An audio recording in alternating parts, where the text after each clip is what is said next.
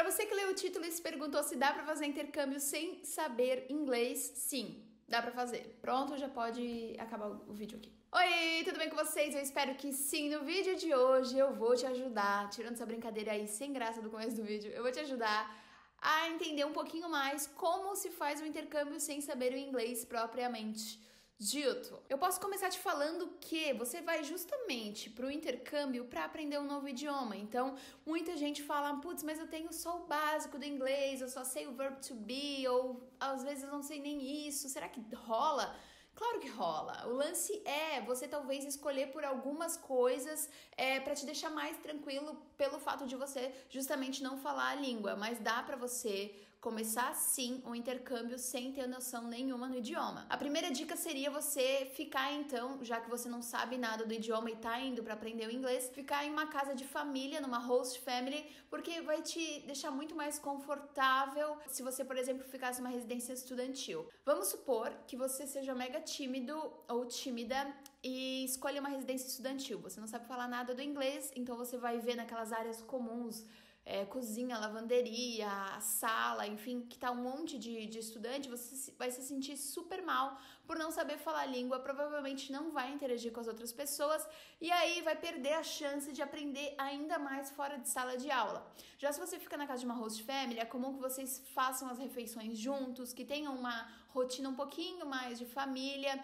Então a, é, a host family também costuma ser um pouco mais paciente a te tentar ensinar um pouco mais do idioma, enfim. Se for uma host family ainda bem legal, eu tenho certeza que vocês vão fazer uma grande amizade e que ela vai te ajudar a dar esse up no, no inglês e não só as aulas. Então a minha dica seria escolhe para uma host family para você se sentir mais confortável. Fora que tem todo esse lance de família, né? Da host family ser sua família naquele destino. Então se você precisar de alguma coisa, precisar resolver alguma coisa pelo telefone ou, sei lá, até trocar uma peça de roupa que você tenha comprado errado na loja e não consiga falar, é, vai ter alguém ali por você, né? Na residência estudantil é meio que cada um por si, e ali na família você tá mais é, por dentro ali do núcleo familiar e vai ter essa abertura para pedir alguma ajuda caso você precise. A segunda dica é escolha uma boa escola. Tá cheio de escola abrindo aí pela gringa, principalmente no, nas cidades mais famosas de intercâmbio, e eles abrem a escola assim como quem abre, sei lá, um canal no YouTube.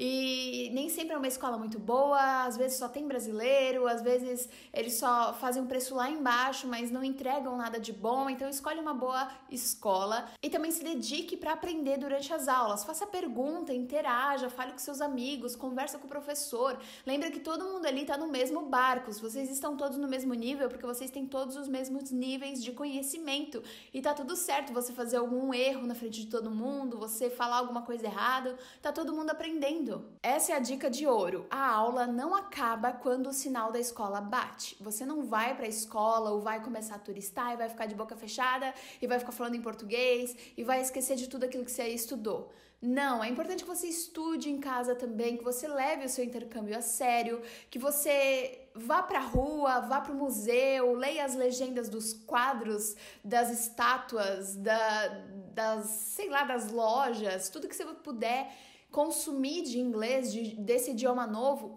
faça. Se você não entende, procura na hora no Google e, sabe, pergunta para um amigo, tenta fazer amizade, pessoas da sua sala, conversa. Gente, é muito engraçado porque nessas horas é, eu lembro de ter feito amigas durante meu primeiro intercâmbio quando eu não tinha inglês.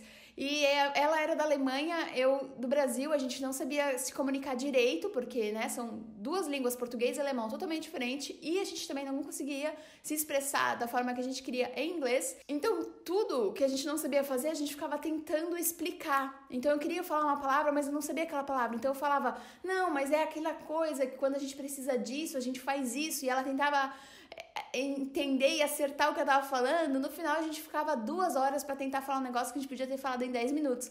Mas foi muito enriquecedor para mim, eu aprendi demais com essa minha amiga, minha amiga alemã e a gente é amiga até hoje. Então, não tenha medo de falar com as pessoas, aproveite a sua oportunidade de estar lá. Escolha pelo menos quatro semanas de curso de inglês para você, principalmente que tem o inglês básico, tá? Para você sentir essa diferença a partir do primeiro momento que você chegou, no primeiro dia e o último dia do seu intercâmbio. Quatro semanas dá um mês, se você consegue fazer esse um mês, se você tirar umas férias corridas de 30 dias do seu trabalho, por exemplo, eu indico muito intercâmbio durante as férias, porque você vai sim aproveitar, vai se sentir de férias, porque provavelmente você vai estudar só de manhã ou só tarde, e aí você tem o resto do dia para aproveitar, para conhecer lugares diferentes. Aos finais de semana você pode viajar para outras cidades próximas. Então acho que vale muito a pena.